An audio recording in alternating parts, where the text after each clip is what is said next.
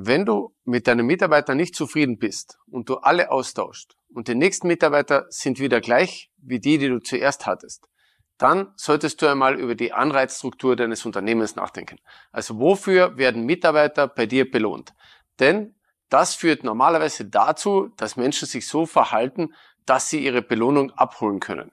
Und wenn du sie immer gleich belohnst, also zum Beispiel, wenn die einzige Belohnung, die es, ist, die es gibt, Geld ist, oder die einzige Belohnung, die man kriegen kann, ist, wenn du mehr Umsatz machst, bekommst du mehr Geld, dann werden sich die Menschen auch so verhalten. Das solltest du überprüfen, wenn du nicht zufrieden mit deinen Mitarbeitern bist. Ich wünsche dir viel Erfolg.